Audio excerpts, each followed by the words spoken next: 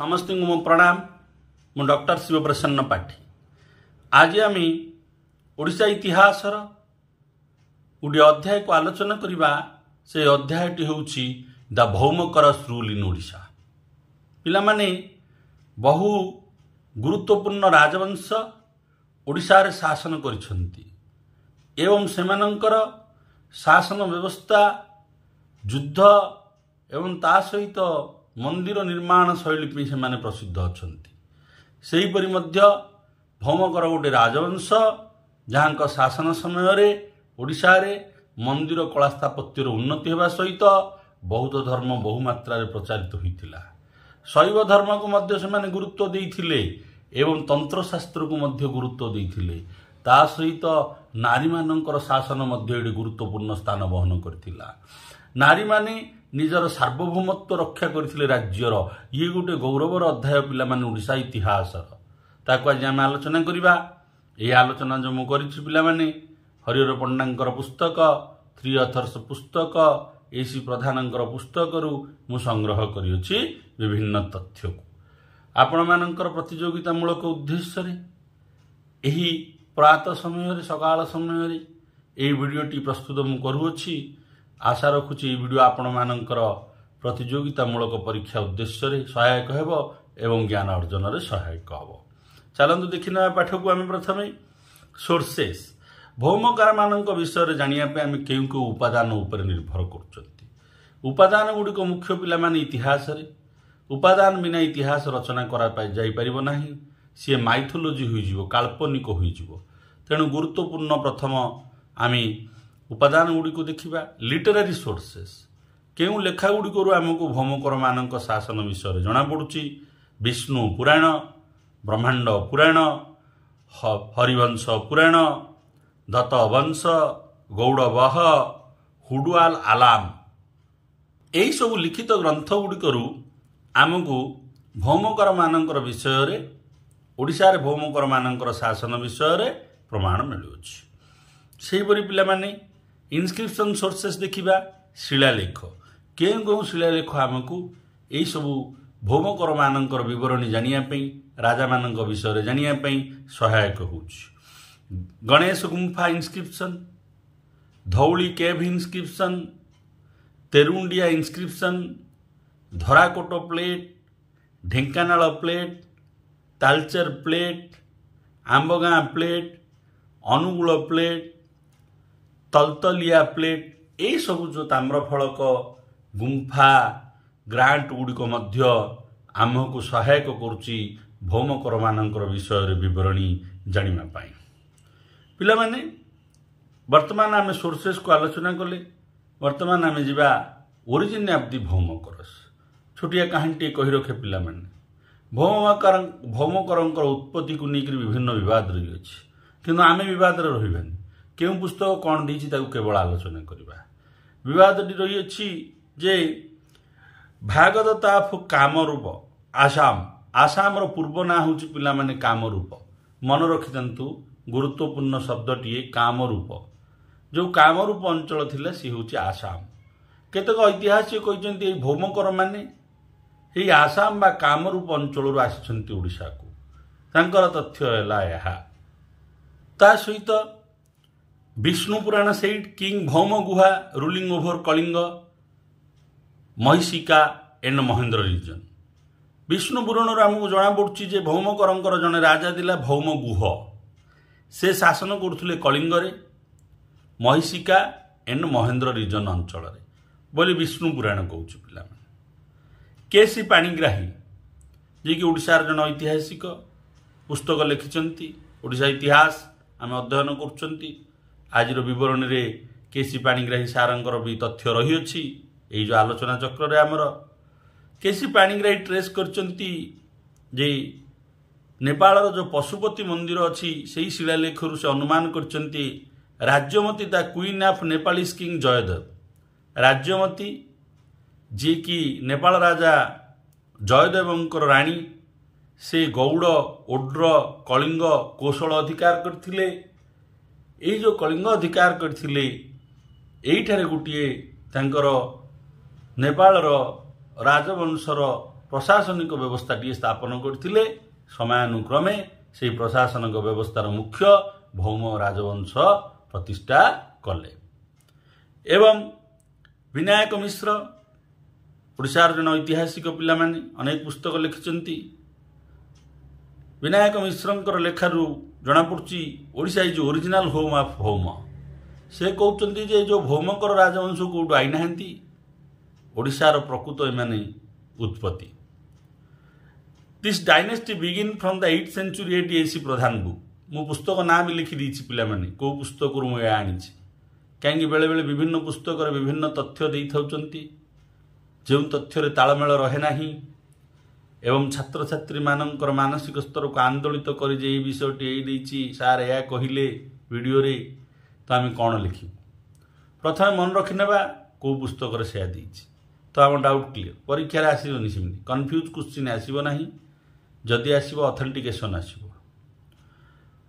AC ପ୍ରଧାନ ପୁସ୍ତକରେ ସେ ଲେଖିଛନ୍ତି ଯେ ଏଇ ଭୌମ ରାଜବଂଶ ଆଠଶହ ଶତାବ୍ଦୀରେ ଶାସନ ଆରମ୍ଭ କରିଛନ୍ତି। ଏବଂ ଥ୍ରୀ ଅଥର୍ସ ଲେଖିଛନ୍ତି ଭୌମ ରାଜବଂଶର ଉତ୍ପତ୍ତି ଆଠଶହରୁ ନଅଶହ ଖ୍ରୀଷ୍ଟାବ୍ଦ ମଧ୍ୟରେ ହୋଇଅଛି ଏବଂ ଫାଉଣ୍ଡର କ୍ଷେମଙ୍କର ଦେବ ହେଉଛନ୍ତି ଏହି ଭୌମ ରାଜବଂଶର ପ୍ରତିଷ୍ଠାତା ବୋଲି ମଧ୍ୟ ଉଭୟ ପୁସ୍ତକରେ ବର୍ଣ୍ଣନା କରାଯାଇଛି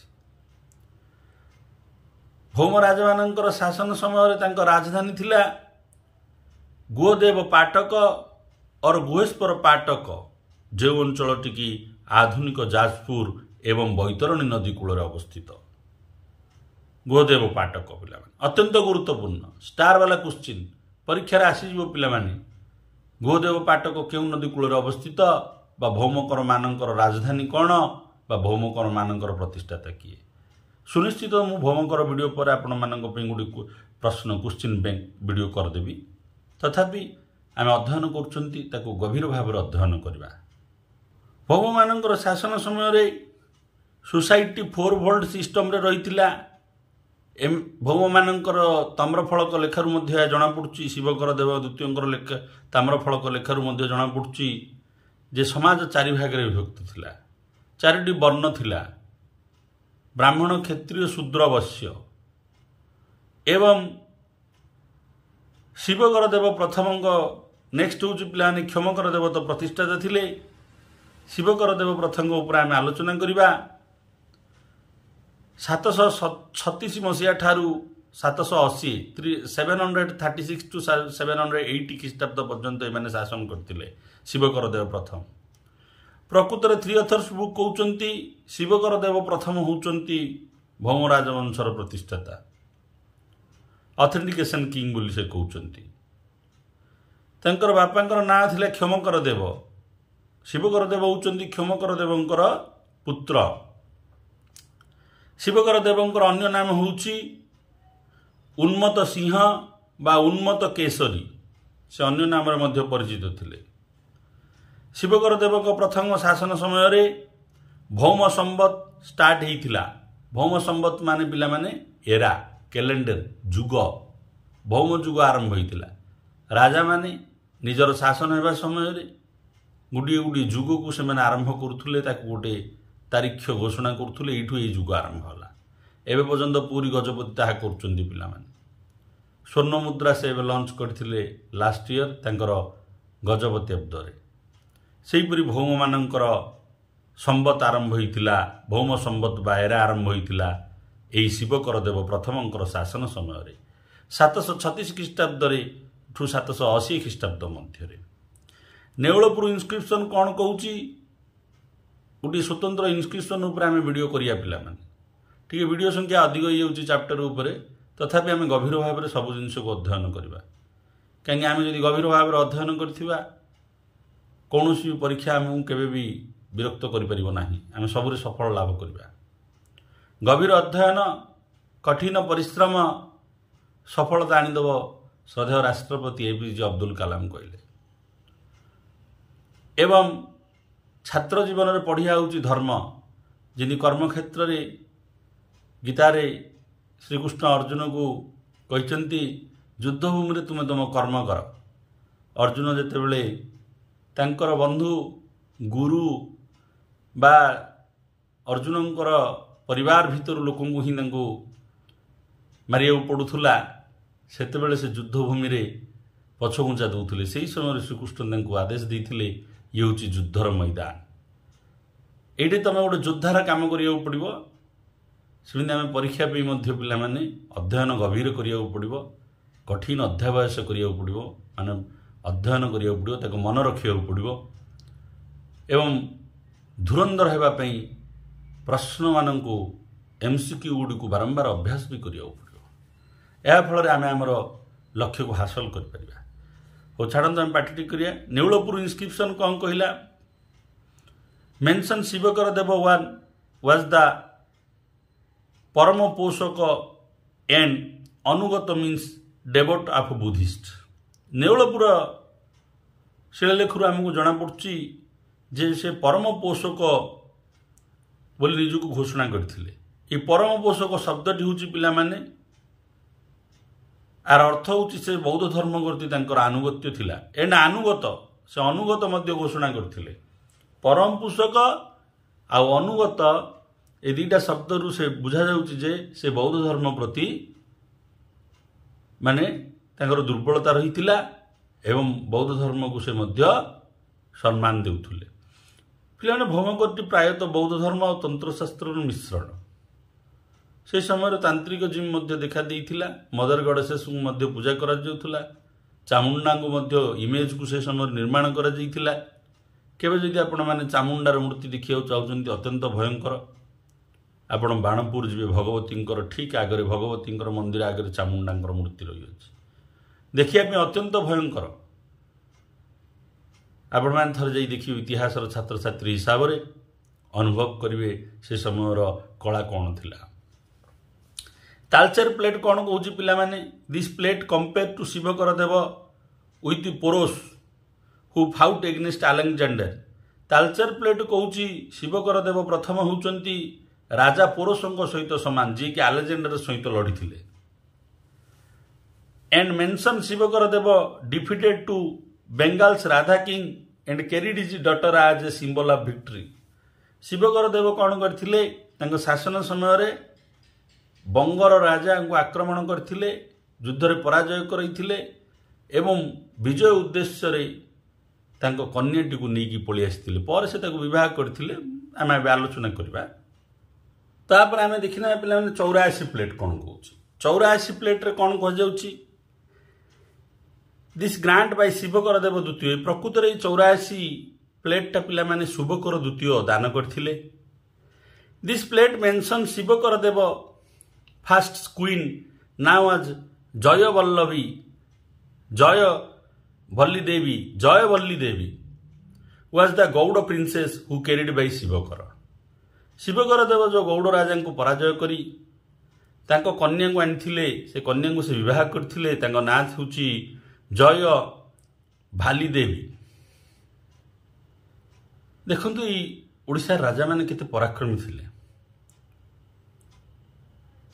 ଏଇଟା ଲେଖାଯାଇଛି ପିଲାମାନେ ଚଉରାଅଶୀ ପ୍ଲେଟ୍ରେ according to R C Majumdar R C Majumdar ମହାନ ଲେଖକ ପିଲାମାନେ he sent a Buddhist manuscript called Gandavyuha to Chinese emperor T song in seven hundred ninety five AD R C Majumdar କହୁଛନ୍ତି ଶିବକର ଦେବ ପ୍ରଥମଙ୍କ ଶାସନ ସମୟରେ ଶିବକର ଦେବ ଚାଇନାର ରାଜା ଟି ସଙ୍ଗଙ୍କ ପାଖକୁ ଗଣ୍ଡୟାହୋ ମନୁସ୍କ୍ରିପ୍ଟକୁ ସେ ପଠାଇଥିଲେ। କାହିଁକି ଚାଇନା ମାନେ ମଧ୍ୟ ପିଲାମାନେ ବୁଦ୍ଧିଷ୍ଟ ଥିଲେ? ବୌଦ୍ଧ ଧର୍ମ ପ୍ରତି ସେମାନଙ୍କର ଦୁର୍ବଳତା ରହିଥିଲା। ବୌଦ୍ଧ ମନୁସ୍କ୍ରିପ୍ଟ ପ୍ରତି ଆଗ୍ରହ ଥିଲା। ଏଇଠୁ ମଧ୍ୟ ଜଣାପଡ଼ୁଛି ଯେ ଶିବକର ଦେବଙ୍କର ଶାସନ ସମୟରେ ଭୌମମାନଙ୍କର ସମ୍ପର୍କ ଚାଇନା ସହିତ ଭଲ ଥିଲା। ପରୀକ୍ଷାରେ ପ୍ରଶ୍ନ ହେଇପାରେ ପିଲାମାନେ। କାହାର ଶାସନ ସମୟରେ ଗଣ୍ଡବହ ଚାଇନାର କେଉଁ ରାଜାଙ୍କ ପାଖକୁ ପଠାଯାଇଥିଲା? ପ୍ରଶ୍ନ ହେଇପାରେ ମୁଁ ପ୍ରଶ୍ନ ତିଆରି କରିଦେବି ଶୁଭକର ଦେବ ପ୍ରଥମ ତାପରେ ଆସିଲେ। ଶୁଭକର ଦେବ ପ୍ରଥମଙ୍କ ଶାସନ ସମୟ ଥିଲା ସାତଶହ ଅଶୀ ଠାରୁ ଆଠଶହ ମାତ୍ର କୋଡ଼ିଏ ବର୍ଷ। ତାଙ୍କ ପିତାଙ୍କ ନାମ ଥିଲା ଶିବକର ଦେବ ପ୍ରଥମ। ଶୁଭକର ଦେବ ନିଜକୁ ପରମ ସୌଗତ। ଏସବୁ ଉପାଧି ଗୁଡ଼ିକ ପିଲାମାନେ ହେଉଛି ବୌଦ୍ଧ ଶବ୍ଦ। ବୁଦ୍ଧିଷ୍ଟମାନଙ୍କର ପବିତ୍ର ଶବ୍ଦ ଗୁଡ଼ିକୁ ସେମାନେ ଉପାଧି ରୂପେ ମଧ୍ୟ ନିଜକୁ ଘୋଷଣା କରୁଥିଲେ। ସେ ପରମ ସୌଗତ ଉପାଧିରେ ନିଜକୁ ଭୂଷିତ କରିଥିଲେ। ତାଙ୍କରି ରାଣୀଙ୍କ ନାଁ ଥିଲା ମହାଦେବୀ। ନେଉଳପୁର କୋପର ପ୍ଲେଟ୍ କହୁଛି in this inscription plate mention in seven hundred ninety eight ଏଇ କୋପର ପ୍ଲେଟ୍ଟା ସାତଶହ ନବେ ଖ୍ରୀଷ୍ଟାବ୍ଦରେ ହେଇଛି। ଏବଂ ଇଏ କହୁଛି ଯେ ଶୁଭକର ଦେବ ପ୍ରଥମ କୁମପାରା ଗ୍ରାମକୁ ଦାନ କରିଥିଲେ। କୋମପାରାକା ଗ୍ରାମ। ଏବଂ ଦଣ୍ଡକୀ ୟୋକା ଗ୍ରାମକୁ ମଧ୍ୟ ସେ ଦୁଇଶହ ବ୍ରାହ୍ମଣଙ୍କୁ ଦାନ କରିଥିଲେ। ହୁଏତ ଏଇଟା ଶେଷ ବର୍ଷ ଏସ୍ଏସ୍ବି ପରୀକ୍ଷାରେ ପ୍ରଶ୍ନ ହେଇଥିଲା ପିଲାମାନେ। ତାପରେ ହେଇଥିଲା ପିଲାମାନେ ଦୁଇଶହ ବ୍ରାହ୍ମଣଙ୍କୁ ଦାନ କରିଥିଲେ ମନେ ରଖନ୍ତୁ ଦଣ୍ଡକୀ ୟୋକା ଭିଲାଇ ଏଇଟା ନେଉଳପୁର କୋପଳ ପ୍ଲେଟ୍ରୁ ଆମକୁ ଜଣାପଡ଼ୁଛି ଶୁଭକର ଦେବ ପ୍ରଥମଙ୍କର କୁଇନ୍ ଥିଲେ ମହାଦେବୀ ଏଣ୍ଡ ମହାଦେବେଶ୍ୱର ଶିବ ଟେମ୍ପଲ ମହାଦେବୀ ନିର୍ମାଣ କରିଥିଲେ। ଏହା ଲେଖାଯାଇଛି ହାମେଶ୍ୱର ଟେମ୍ପଲ ଇନ୍ସ୍କ୍ରିପ୍ସନରେ ହାମେଶ୍ୱର ମନ୍ଦିର ଶିଳାଲେଖରେ ଲେଖାଯାଇଛି ଶୁଭକର ଦେବ ପ୍ରଥମଙ୍କର ରାଣୀ ମହାଦେବୀ ମହା ମାଧବେଶ୍ୱର ଶିବ ମନ୍ଦିର ନିର୍ମାଣ କରିଛନ୍ତି ମନେ ରଖନ୍ତୁ ପିଲାମାନେ ପରୀକ୍ଷା ପାଇଁ ଅତ୍ୟନ୍ତ ଗୁରୁତ୍ୱପୂର୍ଣ୍ଣ ତା ସହିତ ହିନ୍ଦଳ ପ୍ଲେଟ୍ କ'ଣ କହୁଛି ଆଲୋଚନା କରିବା ପିଲାମାନେ Shubhakar Deva first fight with Kalinga and victory over Kalinga Shubhakar Deva ପ୍ରଥମ କଳିଙ୍ଗ ସହିତ ଯୁଦ୍ଧ କରି କଳିଙ୍ଗକୁ ଜୟ କରିଥିଲେ ବୋଲି ବିବରଣୀ ହିନ୍ଦଲ ପ୍ଲେଟ୍ କହୁଅଛି ରାଷ୍ଟ୍ରକୂଟ ସେ ସମୟରେ କ'ଣ ଥିଲା ସମ୍ପର୍କ ପିଲାମାନେ ଭୌମକର ସହିତ ପଡ଼ିବା this dynasty king Govinda third defeated to Bhauma king Shivakar Deva ପ୍ରଥମ ସେ ସମୟରେ ରାଷ୍ଟ୍ରକୂଟ ମାନେ ମହାପ୍ରଭାବଶାଳୀ ଥିଲେ ପିଲାମାନେ। ରାଷ୍ଟ୍ରକୂଟ ରାଜା ଗୋବିନ୍ଦ ତୃତୀୟ ସେ ସମୟରେ ଭୌମ ରାଜା ଶୁଭକର ଦେବ ପ୍ରଥମଙ୍କ ଉପରେ ଆକ୍ରମଣ କରିଥିଲେ ଏବଂ ପରାଜୟ ବରଣ କରିଥିଲେ। ଶେଷରେ ଶୁଭକର ଦେବ ପ୍ରଥମ ରାଷ୍ଟ୍ରକୂଟମାନଙ୍କର ଅଧୀନରେ ଶାସନ କରିଥିଲେ। ଶିବକର ଦେବ ଦ୍ୱିତୀୟ। ଶିବକର ଦେବ ଦ୍ୱିତୀୟ ହେଉଛନ୍ତି ଜଣେ ମଧ୍ୟ ପରାକ୍ରମୀ ରାଜା ଭୌମମାନଙ୍କର। ଚଉରାଅଶୀ କୋପର ପ୍ଲେଟ୍ରେ ଲେଖାଯାଇଛି ଶୁଭକର ଦେବ ଦ୍ୱିତୀୟ became the king in eight hundred nine eight ଚଉରାଅଶୀ କୋପର ପ୍ଲେଟ୍ରୁ ଆମକୁ ଜଣାପଡ଼ୁଛି ଯେ ଶିବକର ଦେବ ଦ୍ୱିତୀୟ ଆଠଶହ ନଅ ଖ୍ରୀଷ୍ଟାବ୍ଦରେ ଭୌମର ରାଜସିଂହାସନ ଆରୋହଣ କରିଥିଲେ। ତାପରେ ଦେଖିନା ପିଲାମାନେ ଚଉରାଅଶୀ କୋପର ପ୍ଲେଟ୍ ଏଇ ଯେଉଁ ରହିଲା ପିଲାମାନେ ଟାଇଟେଲ ଚଉରାଅଶୀ କୋପର ପ୍ଲେଟ୍ରୁ ଜଣାପଡ଼ିଥିଲା ଶିବକର ଦେବ ଦ୍ୱିତୀୟ ହେଉଛନ୍ତି ଆଠଶହ ନଅ ଖ୍ରୀଷ୍ଟାବ୍ଦରେ ସିଂହାସନ ଆରୋହଣ କରିଥିଲେ ଭୌମକରମାନଙ୍କର ସେ ସିଂହାସନ ଆରୋହଣ ପରେ ସୌଗତା ସାରିଓ ସେଇ ବୁଦ୍ଧିଷ୍ଟ ଶବ୍ଦର ଇଏ ମଧ୍ୟ ଉପାଧି ଭୂଷଣ କରିଥିଲେ। ତାଙ୍କ ରାଣୀଙ୍କ ନାମ ଥିଲା ମୋହିନୀ ଦେବୀ ଅତ୍ୟନ୍ତ ଗୁରୁତ୍ୱପୂର୍ଣ୍ଣ ପିଲାମାନେ ଇତିହାସରେ Mohini Devi. Mohini temple built by Mohini Devi at Bhubaneswar. ପ୍ରାୟ ପରୀକ୍ଷାରେ ଆସିଯାଏ ପିଲାମାନେ। King of the question question ଭିତରେ ଇଏ ଗୋଟେ ରାଜା ଷ୍ଟାର ବାଲା କ୍ୱଶ୍ଚିନ୍ ମୋହିନୀ ମନ୍ଦିର ଭୁବନେଶ୍ୱରରେ କିଏ ନିର୍ମାଣ କରିଥିଲେ ସେ ହେଉଛନ୍ତି ମୋହିନୀ ଦେବୀ। ମୋହିନୀ ଦେବୀ ହେଉଛନ୍ତି ଭୌମକର ରାଜା ଶିବକର ଦେବ ଦ୍ୱିତୀୟଙ୍କର ରାଣୀ ଦ ଚଉରାଅଶୀ plate of Shivkar Dev mention his kingdom as Utkal AC ପ୍ରଧାନ ପୁସ୍ତକରେ ସେ ଲେଖିଲେ ଏସି ପ୍ରଧାନ ସାର୍ ଲେଖିଲେ ଯେ ଶିବକର ଦେବ ଦ୍ୱିତୀୟ ତାଙ୍କର ଚଉରାଅଶୀ ପ୍ଲେଟ୍ରେ ଲେଖିଛନ୍ତି ସେ ତାଙ୍କର ରାଜା ରାଜଧା ମାନେ କିଙ୍ଗଡମ୍ ହେଉଛି ତାଙ୍କ ରାଜ୍ୟ ହେଉଛି ଉତ୍କଳ ଯେଉଁ ଉତ୍କଳ ନାଁରେ ଆମେ ଆଜି ଗୌରବ ମଣ୍ଡିତ କରୁଛନ୍ତି ପିଲାମାନେ। ତାପରେ ଆସିଲେ ଶାନ୍ତିକର ଦେବ।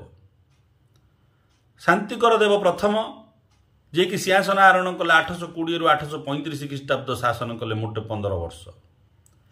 ତାଙ୍କ ରାଣୀଙ୍କ ନାମ ଥିଲା ଗୋସ୍ୱାମୀ ଗୋସ୍ୱାଭିମାନୀ ଦେବୀ ଏବଂ ଏତେ କିଛି କୃତିତ୍ୱ ନଥିଲା ଶାନ୍ତିକର ଦେବ ପ୍ରଥମଙ୍କର। ତାପରେ ଆସିଲେ ପିଲାମାନେ ଶୁଭକର ଦେବ ଦ୍ୱିତୀୟ ଶୁଭକର ଦ୍ୱିତୀୟ ଆସିଲେ ପିଲାମାନେ ଆଠଶହ ପଇଁତିରିଶ ଖ୍ରୀଷ୍ଟାବ୍ଦରୁ ଆଠଶହ ଅଠତିରିଶ ଖ୍ରୀଷ୍ଟାବ୍ଦ ମୋଟେ ତିନି ବର୍ଷ ପାଇଁ। Tenduria copper plate mention he granted Lavanda village to six Brahmin Tenduria copper plate ତାମ୍ର ଫଳକରେ ଲେଖାଯାଇଛି। ଶୁଭକର ଦେବ ତୃତୀୟ ତାଙ୍କ ଶାସନ ସମୟରେ ଛଅ ଜଣ ବ୍ରାହ୍ମଣଙ୍କୁ ଲାଭାଣ୍ଡା ଗ୍ରାମ ଦାନ କରିଥିଲେ। ଶୁଭକର ଦେବ ତୃତୀୟ ଶୁଭକର ଦ୍ୱିତୀୟ ତୃତୀୟଙ୍କର ଅନ୍ୟ ନାମ ହେଉଛି ପିଲାମାନେ ଏନଦର ନେମ୍ ହେଉଛି କୁସୁମହାରା ପ୍ରଥମ ବା ସିଂହ ଧ୍ୱଜ ଅର୍ ସିଂହକ ବା ସିଂହକେତୁ ହେଉଛନ୍ତି ତାଙ୍କର ଅନ୍ୟ ନାମ। ପୁଳିନ୍ଦେଶ୍ୱର ଟେମ୍ପଲ ଇନସ୍କ୍ରିପ୍ସନ୍ କ'ଣ କହୁଛି ପିଲାମାନେ ବର୍ତ୍ତମାନ ଦେଖିବା। Built by the Shubhakar Deva at ୟୁଭନ୍ ଗୁଲ ପାଟିକା mention in Hindol charter Hindol Hindol ଚାର୍ଟରରେ ଲେଖାଯାଇଛି ପୁଳିନ୍ଦେଶ୍ୱର ମନ୍ଦିରଟି ଶୁଭଙ୍କର ଦେବ ନିର୍ମାଣ କରିଛନ୍ତି ୟୋଭନଗୁଲ ପାଟିକା ଅଞ୍ଚଳରେ ନିର୍ମାଣ କରିଛନ୍ତି ବୋଲି ହିନ୍ଦୋଲ ଚାର୍ଟରରେ ଲେଖାଯାଇଛି ଧରାକୋଟ ପ୍ଲେଟ୍ କ'ଣ କହୁଛି ପିଲାମାନେ? ଧରାକୋଟ ପ୍ଲେଟ୍ କହୁଛି mention Gundaj village donated to brahmins Gundaj ଗ୍ରାମକୁ ଦୁଇ ଜଣ ବ୍ରାହ୍ମଣଙ୍କୁ ଶୁଭକର ଦେବ ଦାନ କରିଛନ୍ତି ବୋଲି କହୁଛନ୍ତି। ନେକ୍ସଟ ଆସିଗଲେ ପିଲାମାନେ ତ୍ରିଭୁବନ ମହାଦେବୀ। ଦେଖନ୍ତୁ ଏମିତି ଗୋଟେ ସମୟ ଆସିଲା। ଶୁଭକର ଦେବଙ୍କର କୌଣସି ଉତ୍ତରାଧିକାରୀ ପୁତ୍ର ନଥିଲେ ତାପରେ ନାରୀ ସିଂହାସନ ଆରୋହଣ କଲେ। ଓଡ଼ିଶା ଇତିହାସରେ ଗୌରବ ନାରୀମାନଙ୍କର ଶାସନ ଆମେ ଇତିହାସ ଯେଉଁ ସ୍ୱାଧୀନ ଭାରତ ଇତିହାସରେ ଦେଖିଛେ ଝାନ୍ସୀ ରାଣୀଙ୍କର ରୋଲ। ସେହିପରି ଅନେକ ନାରୀ ନେତ୍ରୀ ବା ନାରୀ ଶକ୍ତିର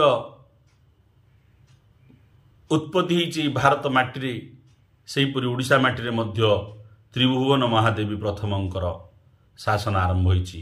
ଭୌମମାନଙ୍କର ରାଜବଂଶରେ। ଗୌରବର ବିଷୟ ଏ ଓଡ଼ିଶାର ନାରୀ ବି କିଛି କମ୍ ନଥିଲେ ପିଲାମାନେ। ଶାସନ କ୍ଷେତ୍ରରେ ଜ୍ଞାନ ଅର୍ଜନ କ୍ଷେତ୍ରରେ ନାରୀମାନଙ୍କ ସ୍ଥାନ ବହୁ ଉଚ୍ଚରେ ମଧ୍ୟ ରହିଅଛି ପିଲାମାନେ। ତ୍ରିଭୁବନ ମହାଦେବୀଙ୍କର ଶାସନ ସମୟଟା ଥିଲା ମାନେ ଆଠଶହ ପଇଁଚାଳିଶରୁ ଆଠଶହ ପଚାଶ ପାଞ୍ଚ ବର୍ଷ ଶାସନ ସମୟ ଥିଲା। ସେ ହେଉଛନ୍ତି ଶୁଭକର ଦେବ ତୃତୀୟଙ୍କର ମାତା ଶୁଭକର ଦେବ ତୃତୀୟଙ୍କର ଅଚାନକ ମୃତ୍ୟୁ ହେବା ଫଳରେ ତାଙ୍କର କୌଣସି ପୁତ୍ର ନଥିବାରୁ ସେ ମାତା ସିଂହାସନ ଆରୋହଣ କଲେ ଏବଂ ତ୍ରିଭୁବନ ମହାଦେବୀ ହେଉଛନ୍ତି ଶାନ୍ତିକର ପ୍ରଥମଙ୍କର ୱାଇଫ୍ ବା ସ୍ତ୍ରୀ ବା କନ୍ୟା ଏ ସ୍ତ୍ରୀ ବା ରାଣୀ। ବୌଦ୍ଧ ଆଣ୍ଡ ଢେଙ୍କାନାଳ ପ୍ଲେଟ୍ କ'ଣ କହୁଛି? Mention about Tribhuvan Mahadevi called Goswabhimani Devi. Goswabhimani Devi ବୋଲି କୁହାଯାଉଛି ତ୍ରିଭୁବନ ମହାଦେବୀଙ୍କୁ ବୌଦ୍ଧ ଆଉ ଢେଙ୍କାନାଳ ପ୍ଲେଟ୍ରୁ ଆମକୁ ଜଣାପଡ଼ୁଛି ତାଲଚେର କୋପର ପ୍ଲେଟ୍ କହୁଛନ୍ତି ସି କାଲେଡ୍ ଶେଷ ନାଗ। ତାଲଚେର କୋ ପ୍ଲେଟ୍ରୁ ଜଣାପଡ଼ୁଛି କୋପର ପ୍ଲେଟ୍ରୁ ଜଣାପଡ଼ୁଛି ଯେ ତ୍ରିଭୁବନ ମହାଦେବୀ ଶେଷ ନାଗ ବୋଲି ନିଜକୁ କହୁଥିଲେ। ଶେଷ ନାଗର ଅର୍ଥ ପିଲାମାନେ କୃଷ୍ଣ ଯେଉଁ ନାଗଙ୍କ ଉପରେ ନାଚ କରିଛନ୍ତି ଚିତ୍ରଟି ଆପଣମାନେ ଦେଖିଛନ୍ତି କୃଷ୍ଣଙ୍କର ଜୀବନାମୃତ ବା କାହାଣୀ ଭିତରେ ଯେଉଁ ସେ ନାଗ ଦଳନ କରୁଛନ୍ତି ତାକୁ ଶେଷ ନାଗ ବୋଲି ସେ କହୁଛନ୍ତି। ସେଇଟା ହେଉଛି ଶେଷ ନାଗ ପିଲାମାନେ। ନିଜକୁ ସେ ଶେଷ ନାଗ ବୋଲି ମଧ୍ୟ ଘୋଷଣା କରିଥିଲେ ପିଲାମାନେ। ତାପରେ ଆସିଗଲେ ପିଲାମାନେ ଶାନ୍ତିକର ଦେବ ତାଲଚେର ଗୋପର ପ୍ଲେଟ୍ରୁ ଶେଷ ନାଗ ପିଲାମାନେ କଥାଟି ଜଣାପଡ଼ୁଛି ମନେ ରଖିଥାନ୍ତୁ ଗୁରୁତ୍ୱପୂର୍ଣ୍ଣ। ଶାନ୍ତିକର ଦେବ ଦ୍ୱିତୀୟ। ଆଠଶହ ପଚାଶରୁ ଆଠଶହ ପଞ୍ଚଷଠି ଖ୍ରୀଷ୍ଟାବ୍ଦରେ ସେ ଶାସନ କରିଥିଲେ ପନ୍ଦର ବର୍ଷ। ତାଙ୍କ ରାଣୀଙ୍କ ନାଁ ହେଉଛି ହୀରା ମହାଦେବୀ। ତାପରେ ଆସିଗଲେ ପିଲାମାନେ ଶୁଭକର ଦେବ ଚତୁର୍ଥ ଆଠଶହ ପଞ୍ଚଷଠି ଠାରୁ ଆଠଶହ ବୟାଅଶୀ ଖ୍ରୀଷ୍ଟାବ୍ଦ ପର୍ଯ୍ୟନ୍ତ ସେ ଶାସନ କରିଥିଲେ। ଶୁଭକର ଦେବ ଚତୁର୍ଥଙ୍କ ସମୟରେ ସେ ରାଜଧାନୀର ନାଁଟାକୁ ପରିବର୍ତ୍ତନ କରିଦେଇଥିଲେ। ରାଜଧାନୀ ନୁହଁ ରାଜଧାନୀର ନାଁ। ଗୁହଦେବ ପାଟକ ଟୁ ଗୁହେଶ୍ୱର ପାଟକ ତାକୁ ନାଁ ପରିବର୍ତ୍ତନ କରିଦେଇଥିଲେ। ରାଜଧାନୀ ଥିଲା ଭୌମମାନଙ୍କର ଗୁହଦେବ ପାଟକ ସେ ନାଁଟାକୁ ସେ ପରିବର୍ତ୍ତନ କରିଦେଲେ ଗୁହେଶ୍ୱର ପାଟକ ସେ ହେଉଛନ୍ତି contemporary Janmejaya first Somavamshi ruler Somavamshi ruler Janmejaya ପ୍ରଥମଙ୍କର ସେ ହେଉଛନ୍ତି ସମସାମୟିକ ଏବଂ ତାଙ୍କ କନ୍ୟାକୁ ମଧ୍ୟ ସେ ବିବାହ କରିଥିଲେ ପିଲାମାନେ। ଗୁରୁତ୍ୱପୂର୍ଣ୍ଣ ଅତ୍ୟନ୍ତ। ପଚାରି ଦେଇପାରେ କେଉଁ ସୋମବଂଶୀ ରାଜାଙ୍କ ସମସାମୟିକ ପରୀକ୍ଷା ପାଇଁ? ସେ ହେଉଛନ୍ତି ଜନ୍ମଜୟ ପ୍ରଥମଙ୍କର ସମସାମୟିକ। ତାପରେ ଆସିଗଲେ ପିଲାମାନେ। ଶିବକର ଦେବ ତୃତୀୟ ଯିଏକି ଆଠଶହ ବୟାଅଶୀ ଠାରୁ ଆଠଶହ ନବେ ଆଠ ବର୍ଷ ଶାସନ କରିଛନ୍ତି। ଏହା ଆମକୁ ଜଣାପଡ଼ୁଛି ତାଲଚର ଚାରିଟେରୁ ତାଲଚର ଚାରିଟେରୁ ଜଣାପଡ଼ୁଛି। ତାପରେ ପୁଣି ଆସିଗଲେ ପିଲାମାନେ ପୃଥିବୀ ମହାଦେବୀ ତ୍ରିଭୁବନ ମହାଦେବୀ ଦ୍ୱିତୀୟ। ଆଠଶହ ନବେ ଠାରୁ ଆଠଶହ ଛୟାନବେ ଖ୍ରୀଷ୍ଟାବ୍ଦ ଶାସନ କରିଛନ୍ତି ପିଲାମାନେ। ଏଇ ତ୍ରିଭୁବନ ମହାଦେବୀ ଦ୍ୱିତୀୟ ବା ପୃଥିବୀ ମହାଦେବୀଙ୍କ ବିଷୟରେ ଜାଣିବା ପୃଥିବୀ ମହାଦେବୀ ନାଁ ଆଜ ତ୍ରିଭୁବନ ମହାଦେବୀ ଦ୍ୱିତୀୟ ପୃଥିବୀ ମହାଦେବୀଙ୍କୁ ହିଁ ତ୍ରିଭୁବନ ମହାଦେବୀ ଦ୍ୱିତୀୟ ବୋଲି କୁହାଗଲା ପିଲାମାନେ ସେ the widow queen of Shubhakara Deva four ସେ ହେଉଛନ୍ତି ଶୁଭକର ଦେବ ଚତୁର୍ଥଙ୍କର ବିଧବା ରାଣୀ। Daughter of Somavamshi ruler Janmejaya ପ୍ରଥମ। ମୁଁ କହିଥିଲି ଜନ୍ମଜୟ ପ୍ରଥମଙ୍କର କନ୍ୟାଙ୍କୁ ସେ ବିବାହ କରିଥିଲେ। ଜନ୍ମଜୟ ମଧ୍ୟ ଏଠି ଗୁରୁତ୍ୱପୂର୍ଣ୍ଣ ଭୂମିକା ଗ୍ରହଣ କରିଥିଲେ ପିଲାମାନେ। ଏଇଠାରୁ ଆରମ୍ଭ ହୋଇଥିଲା ସୋମବଂଶୀମାନଙ୍କର ଭୌମକର ମାନଙ୍କର ଶାସନରେ ପ୍ରବେଶ। ଯାହାଫଳରେ କି ଭୌମଙ୍କର ପତନ ହେବା ପାଇଁ ମଧ୍ୟ ଦାୟୀ ରହିଥିଲା। ଜନ୍ମଞ୍ଜୟ ପ୍ରଥମ ସୋମବଂଶୀ ରାଜା ନିଜର କନ୍ୟାଙ୍କୁ ଭୌମକର ରାଜା ଶୁଭକର ଚତୁର୍ଥଙ୍କ ସହିତ ବିବାହ କରିଥିଲେ। ଶୁଭକର ଚତୁର୍ଥଙ୍କର ଅକାଳ ବିୟୋଗ ରାଜନୈତିକ ପ୍ରତିଦ୍ୱନ୍ଦିତା ଆରମ୍ଭ କରିଦେଇଥିଲା ଭୌମକରମାନଙ୍କ ଭିତରେ। ଜନ୍ମଜୟ କିନ୍ତୁ ସେହି ରାଜନୀତି କ୍ଷେତ୍ରରେ ପ୍ରବେଶ କରି ଜନ୍ମଜୟ ପ୍ରଥମ ତାଙ୍କୁ ସିଂହାସନ ଆରୋହଣ କରାଇଥିଲେ ପୃଥିବୀ ମହାଦେବୀଙ୍କୁ। ସେ ରାଣୀ ହୋଇପାରିଥିଲେ। ବୌଦ୍ଧ ଚାର୍ଟର ଇସ୍ୟୁ ଆଠଶହ ଚଉରାଣୀ ଖ୍ରୀଷ୍ଟାବ୍ଦରେ ଏସବୁ ଆମକୁ ଜଣାପଡ଼ୁଛି ପିଲାମାନେ। ଏବେ ପଢ଼ିବା ତ୍ରିଭୁବନ ମହାଦେବୀ ତୃତୀୟ। ଆଠଶହ ଛୟାଣୀ ଠାରୁ ନଅଶହ ପାଞ୍ଚ। ନଅ ବର୍ଷ କାଳ ଶାସନ କରିଥିଲେ ତ୍ରିଭୁବନ ମହାଦେବୀ ତୃତୀୟ। ସେ ତାଙ୍କ ଶାସନ ସମୟରେ ଢେଙ୍କାନାଳ ପ୍ଲେଟ୍ ଇସ୍ୟୁ କରିଥିଲେ ଏବଂ ତ୍ରିଭୁବନ ମହାଦେବୀ ତୃତୀୟ ନିଜକୁ କାତାୟନୀ ବା ଗଡ଼େଶେଷ ଦୁର୍ଗା ବୋଲି କହୁଥିଲେ। ଏବେ ତ ଦୁର୍ଗା ପୂଜା ଯାଇଛି ପିଲାମାନେ।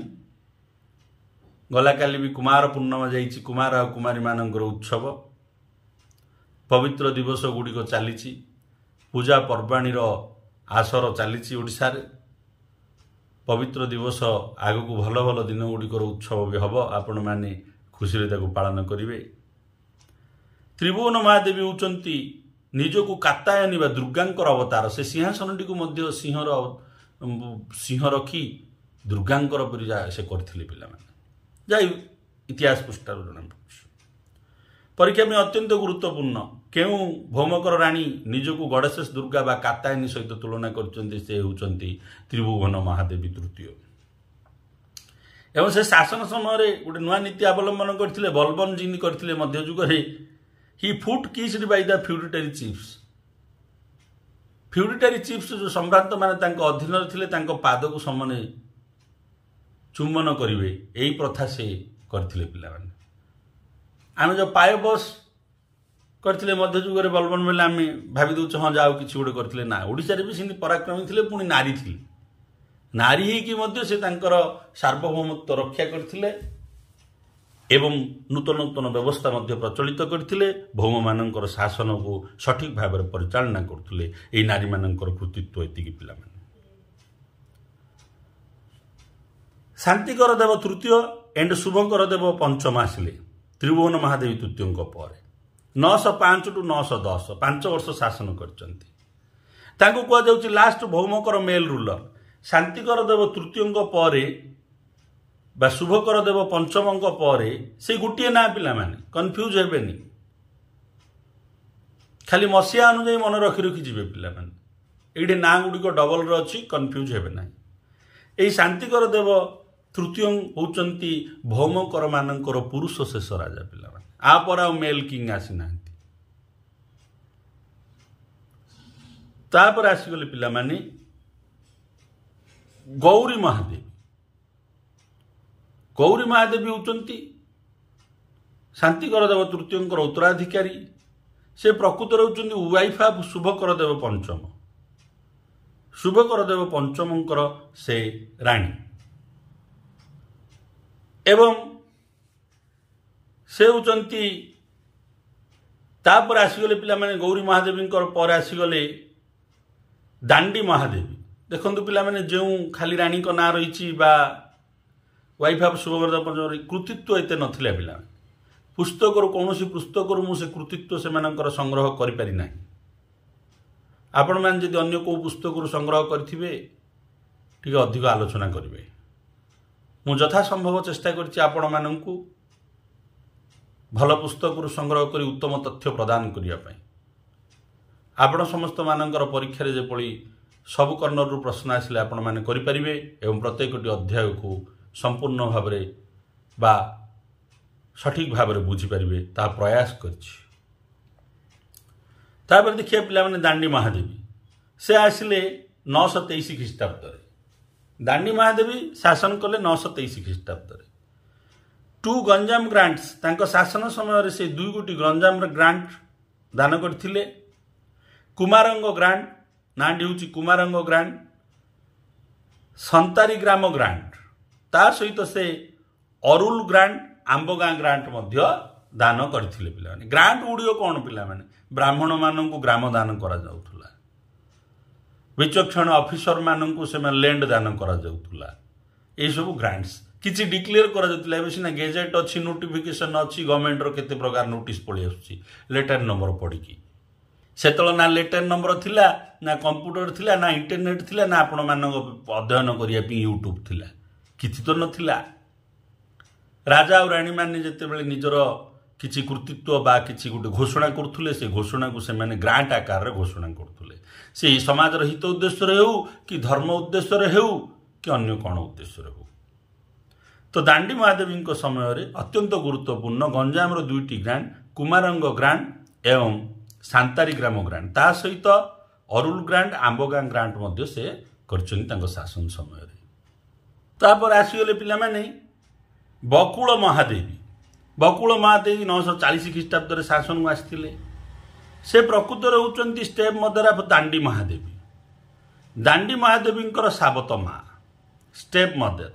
ଦାଣ୍ଡି ମହାଦେବୀଙ୍କର ଯେତେବେଳେ କ୍ଷମତାଚ୍ୟୁତ ହେଲା ସେତେବେଳେ ବକୁଳ ମହାଦେବୀ କ୍ଷମତାକୁ ଆସିଲେ ନଅଶହ ଚାଳିଶ ଖ୍ରୀଷ୍ଟାବ୍ଦରେ। ବକୁଳ ମହାଦେବୀ ହେଉଛନ୍ତି ଭଞ୍ଜ ରାଜ ପରିବାରର ଜଣେ ପ୍ରିନ୍ସେସ୍। ସେ ଭଞ୍ଜ ରାଜ ପରିବାରର କନ୍ୟା। କିନ୍ତୁ ସେ ବିବାହ କରିଥିଲେ ଭୌମକର ରାଜବଂଶରେ। ଦୁଇ ଜଣ କନ୍ୟାଙ୍କ ବିଷୟ ଆସିବ ପିଲାମାନେ ମନେ ରଖିଥିବା ପରୀକ୍ଷା ପାଇଁ ଗୁରୁତ୍ୱପୂର୍ଣ୍ଣ। ତାପରେ ଆସିଗଲେ ପିଲାମାନେ ଧର୍ମ ମହାଦେବୀ। ଧର୍ମ ମହାଦେବୀ ହେଉଛନ୍ତି ଶାନ୍ତିକର ତୃତୀୟଙ୍କର ରାଣୀ ୱାଇଫ୍ ଏଣ୍ଡ ସେ ମଧ୍ୟ ହେଉଛନ୍ତି ଭଞ୍ଜ ରାଜବଂଶର କନ୍ୟା। ଧର୍ମ ମହାଦେବୀ ମଧ୍ୟ। ଧର୍ମ ମହାଦେବୀଙ୍କର ଶାସନ ସମୟରେ ଅନୁଗୁଳ ଏନ୍ ତଲତଲିଆ ଚାର୍ଟର ଘୋଷଣା କରିଥିଲେ ସେ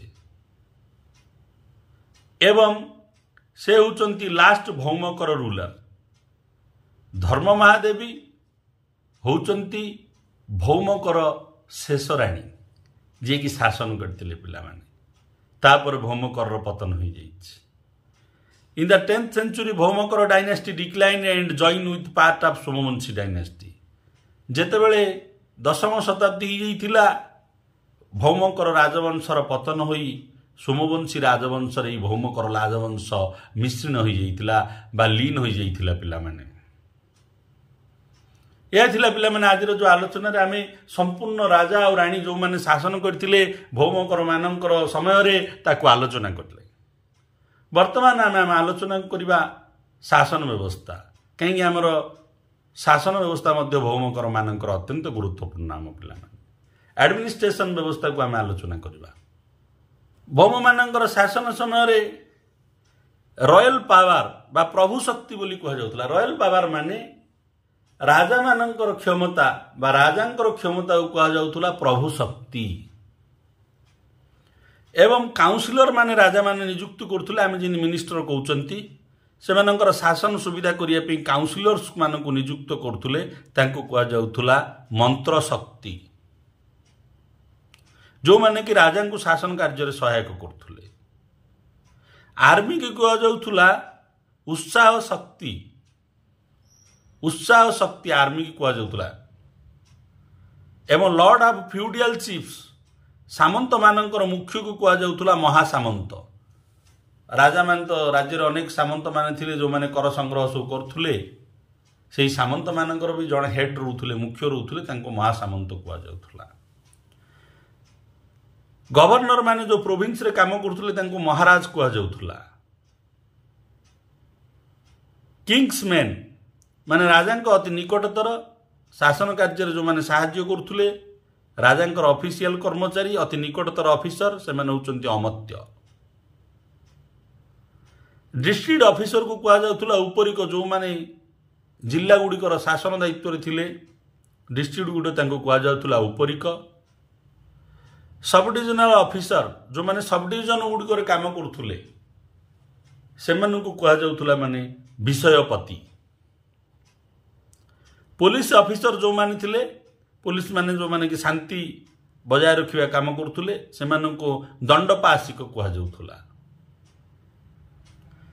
ଇନଚାର୍ଜ ଅଫ୍ କ୍ରିମିନାଲ ଡିପାର୍ଟମେଣ୍ଟ ଯେଉଁମାନେ ଥିଲେ କ୍ରିମିନାଲ ବିଭାଗ କ୍ରିମିନାଲ ମାନେ ଯେଉଁ ଖୁନ ଖରାପ କରୁଛନ୍ତି ଅନିଷ୍ଟ କାର୍ଯ୍ୟ ସମାଜର କରୁଛନ୍ତି ସେହି ବିଭାଗର ଦାୟିତ୍ୱ ଯିଏ ବୁଝୁଥିଲେ ତାଙ୍କୁ କୁହାଯାଉଥିଲା ସ୍ଥାନାନ୍ତରିକ। ସ୍ଥାନାନ୍ତରିକ ବୋଲି କୁହାଯାଉଥିଲା। ତାଙ୍କ କାମ ଥିଲା କ୍ରିମିନାଲ ଆକ୍ଟିଭିଟିକୁ କଣ୍ଟ୍ରୋଲ କରିବା। ଏ ଯେଉଁ ନରହତ୍ୟା ଗୋହତ୍ୟା ଚୋରି ଏଇସବୁ କାର୍ଯ୍ୟକୁ ରଖିବା ବନ୍ଦ କରିବା। ସେଇ ଦାୟିତ୍ୱରେ ସେମାନେ ଥିଲେ। ଅତ୍ୟନ୍ତ ଗୁରୁତ୍ୱପୂର୍ଣ୍ଣ ନାମଟି ମନେ ରଖିଥାନ୍ତୁ। ଏବଂ କମାଣ୍ଡର ଇନ୍ ଚିଫ୍ ଯିଏ ସେନାବାହିନୀର ଯୁଦ୍ଧ ସମୟରେ ଦାୟିତ୍ୱ ନେଉଥିଲେ ତାଙ୍କୁ କୁହାଯାଉଥିଲା ବଳାହିତା। ଫ୍ୟୁଡିଆଲ ଚିଫ୍ ସାମନ୍ତ ମାନ ଫ୍ୟୁଡିଆଲ ମାନେ ସାମନ୍ତ ସାମନ୍ତ କୁହାଯାଉଥିଲା। ଏବଂ କାଭଲେର କମାଣ୍ଡରକୁ କୁହାଯାଉଥିଲା ସାମ୍ଭାଜି। କାଭଲେର କମାଣ୍ଡର ମାନେ ଘୋଡ଼ା ବାହିନୀର ମୁଖ୍ୟକୁ କୁହାଯାଉଥିଲା ସାମ୍ଭାଜି। ଏବଂ ଚିଫ୍ ହେଡମ୍ୟାନ୍ ଯେଉଁ ଲୋକମାନଙ୍କର ଗ୍ରାମ ଭିତରେ ଯେଉଁ ମୁଖିଆ ବୋଲି କହୁଛନ୍ତି ଆମର ଭାଷାରେ ବର୍ତ୍ତମାନର ସଭାପତି ଯେଉଁ ଗ୍ରାମର କହୁଛନ୍ତି ତାଙ୍କୁ କୁହାଯାଉଥିଲା ବାରାଟ ଭୋଗୀ ଚିଫ୍ ରେକର୍ଡ କିପର ଯେଉଁମାନେ ଲାଇବ୍ରେରିଆନ୍ ଥିଲେ ସେମାନଙ୍କୁ କୁହାଯାଉଥିଲା ପୁସ୍ତପାଳ ସବୁ ନଥିପତ୍ର ଗ୍ରନ୍ଥ ବିବରଣୀକୁ ଏମାନେ ସଂଗ୍ରହ କରି ଜାଗତ୍ରରେ ରଖୁଥିଲେ ପିଲାମାନେ। ଏମ୍ପାୟାରକୁ ଡିଭାଇଡ୍ କରାଯାଇଥିଲା ମଣ୍ଡଳରେ ମଣ୍ଡଳର ଅର୍ଥ ହେଲା ପିଲାମାନେ ଗୋଟେ ଗୋଟେ ୟୁନିଟ୍ ଭୌମକର ଶାସନ ସମୟରେ ସାମ୍ରାଜ୍ୟକୁ କେତେକ ମଣ୍ଡଳରେ ବିଭକ୍ତ କରାଯାଇଥିଲା କେତେକ ୟୁନିଟ୍ରେ ବିଭକ୍ତ କରାଯାଇଥିଲା। ମଣ୍ଡଳ ଡିଭାଇଡେଡ୍ ଇନ୍ ବିଷୟ ପ୍ରତ୍ୟେକ ମଣ୍ଡଳକୁ କେତେକ ବିଷୟରେ ବିଭକ୍ତ କରାଯାଇଥିଲା ଶାସନ ସୁବିଧା କରିବା ପାଇଁ। ମଣ୍ଡଳ ଗୁଡ଼ିକ ବିଷୟ ଗୁଡ଼ିକୁ କଣ୍ଟ୍ରୋଲ କରିବେ। ଏବଂ ବିଷୟ ଡିଭାଇଡେଡ୍ ଇନ୍ ଭିଲାଇଜ୍ ବିଷୟ ଗୁଡ଼ିକୁ କେତେକ ଗ୍ରାମରେ ବିଭକ୍ତ କରାଯାଇଥିଲା। ସେ ଗ୍ରାମ ଗୁଡ଼ିକର ଶାସନ କେତେକ ଗ୍ରାମକୁ ଶାସନ କରୁଥିଲେ ବିଷୟମାନେ।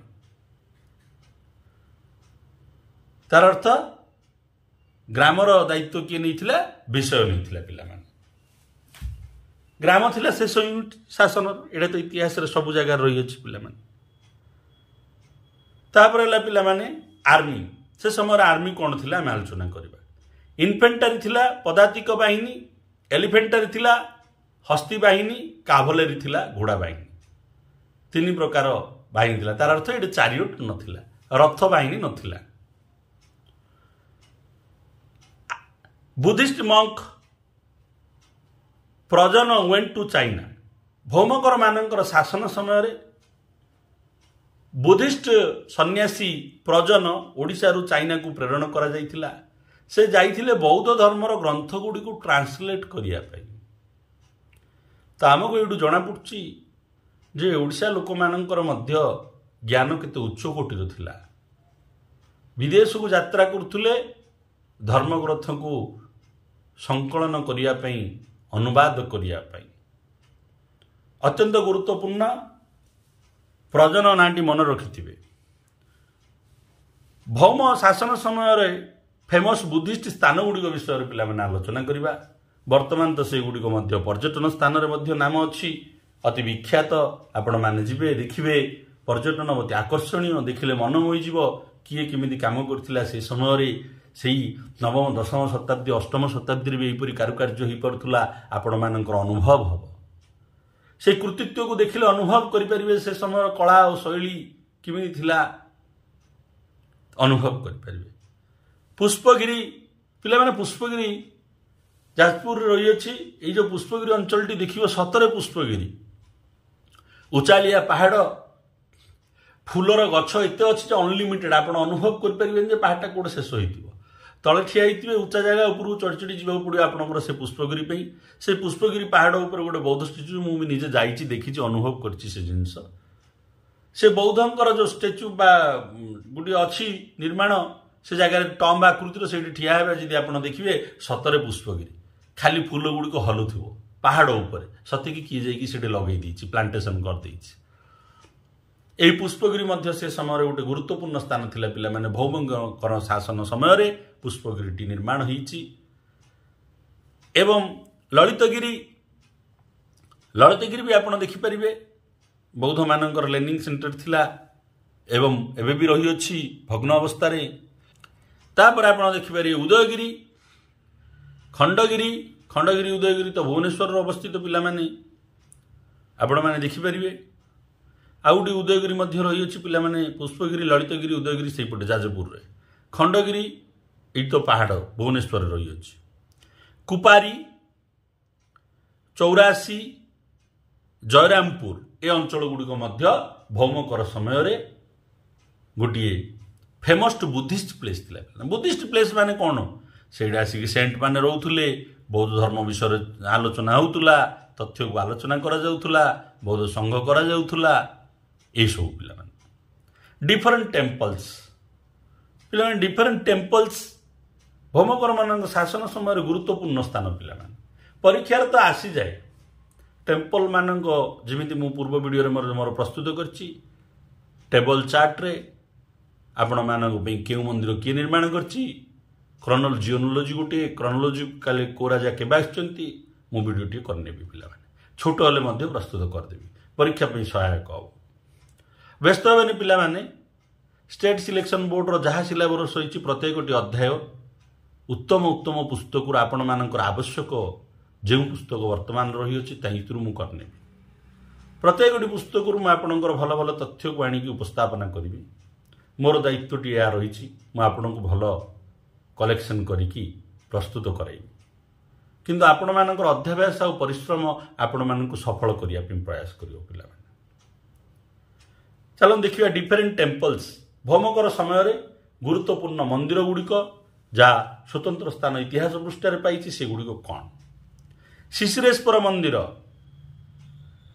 ମାର୍କଣ୍ଡେଶ୍ୱର ମନ୍ଦିର ତାଳେଶ୍ୱର ମନ୍ଦିର ଭୁବନେଶ୍ୱରର ଏସବୁ ଭୁବନେଶ୍ୱର ପିଲା। ମାର୍କଣ୍ଡେଶ୍ୱର ଦେଖିଥିବ ଆପଣମାନେ ଲିଙ୍ଗରାଜ ପାଖରେ ହିଁ ଅଛି।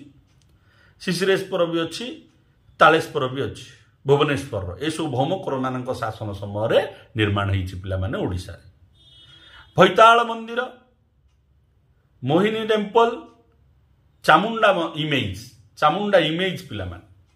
ଚାମୁଣ୍ଡାଙ୍କର ମୂର୍ତ୍ତିର ରୂପ ଭୌମକରମାନଙ୍କ ସମୟରେ ତିଆରି ଏଇଠୁ ଆମକୁ ଜଣାପଡ଼ୁଛି ଯେ ଭୌମକର ଶାସନ ସମୟରେ ଶକ୍ତି ମାତୃଶକ୍ତି ପୂଜା ମଧ୍ୟ ବହୁ ମାତ୍ରାରେ ପ୍ରଚଳିତ ଥିଲା।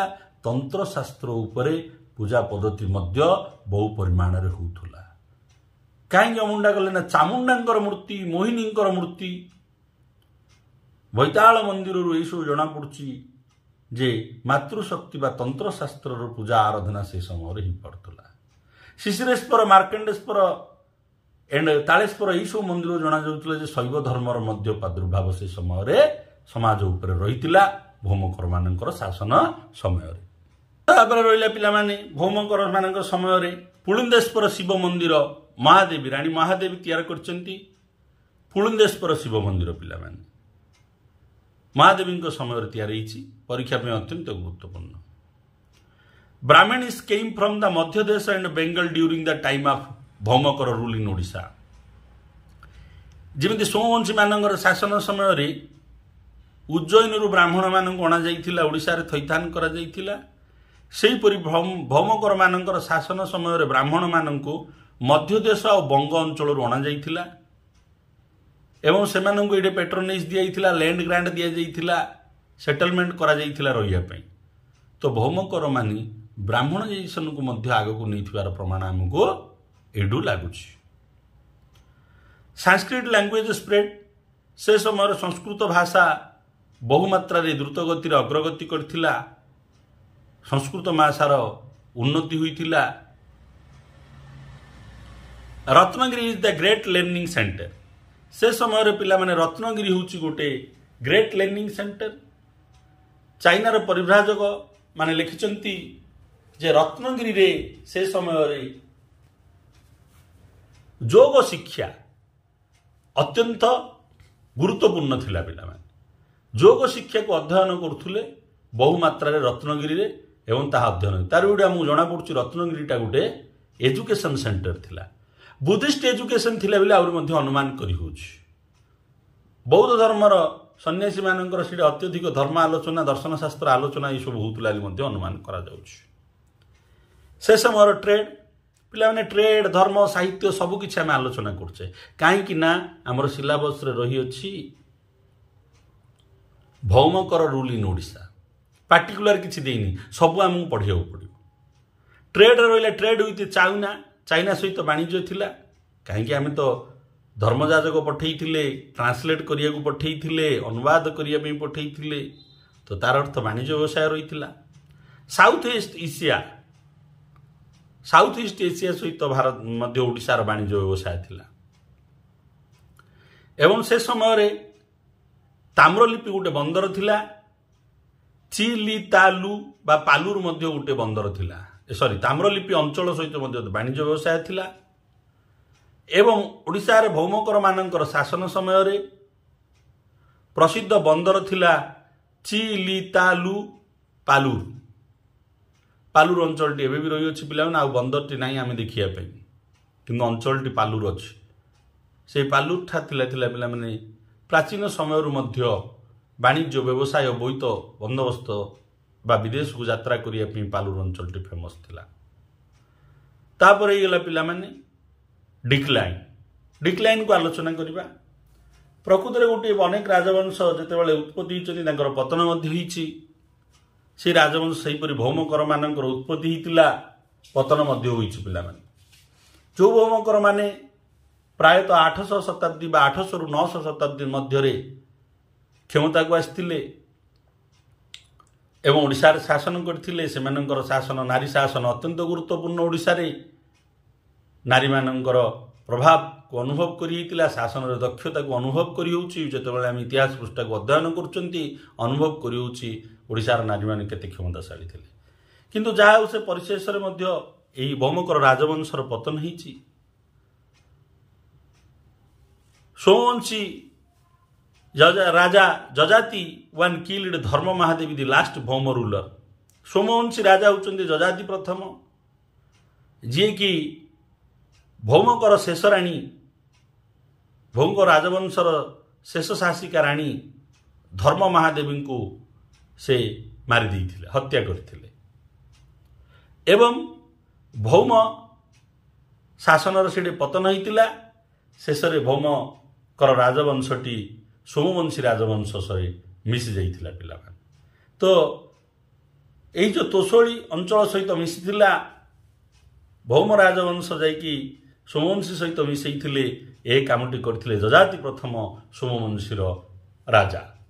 ଏହିପରି ଭାବରେ ସୋମବଂଶୀମାନଙ୍କର ପତନ ମଧ୍ୟ ହେଇଛି ଅତୀତରେ ତା ସହିତ ଭୌମକରମାନଙ୍କର ପତନ ହୋଇଗଲା ପିଲାମାନେ। ଏହି ଆଲୋଚନା ଥିଲା ଆଜିର ଭିଡ଼ିଓ ଭୌମକରମାନଙ୍କର। ଏହି ଭିଡ଼ିଓରେ ମୁଁ ତିନି ଗୋଟି ପୁସ୍ତକକୁ ଅନୁଧ୍ୟାନ କରିଅଛି। ଏସି ପ୍ରଧାନ ସାରଙ୍କର ଓଡ଼ିଶା ପୁସ୍ତକ ହରିହର ପଣ୍ଡା ସାରଙ୍କର ଓଡ଼ିଶା ପୁସ୍ତକ ଏବଂ ଥ୍ରୀ ଅଥର୍ସଙ୍କର ଓଡ଼ିଶା ପୁସ୍ତକକୁ ମୁଁ ଅନୁଧ୍ୟାନ କରିଅଛି। ଆର ପରବର୍ତ୍ତୀ କାର୍ଯ୍ୟକ୍ରମ ପିଲାମାନେ ଆମର ଆସିବ ଭୌମକରମାନଙ୍କର ମଧ୍ୟ ଏମ୍ ସି କ୍ୟୁ ଆସିବ।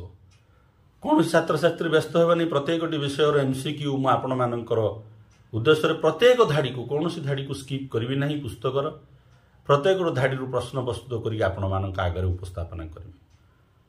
ମୁଁ ଆଶା କରୁଛି ମୋର ଏହି ଆଲୋଚନା ଆପଣମାନଙ୍କର ଭବିଷ୍ୟତ ନିର୍ମାଣରେ ଏବଂ ପ୍ରତିଯୋଗିତାମୂଳକ ପରୀକ୍ଷାରେ ସଫଳ ପ୍ରାପ୍ତି ହେବାରେ ସହାୟକ ହେବ। ଭିଡ଼ିଓକୁ ଲାଇକ୍ କରନ୍ତୁ ଚ୍ୟାନେଲକୁ ସବସ୍କ୍ରାଇବ୍ କରନ୍ତୁ ଏବଂ ସମସ୍ତ ପ୍ରତିଯୋଗିତାମୂଳକ ଗ୍ରୁପରେ ଆକୁ ସେୟାର କରନ୍ତୁ। ବନ୍ଦେ ଉତ୍କଳ ଜନନୀ।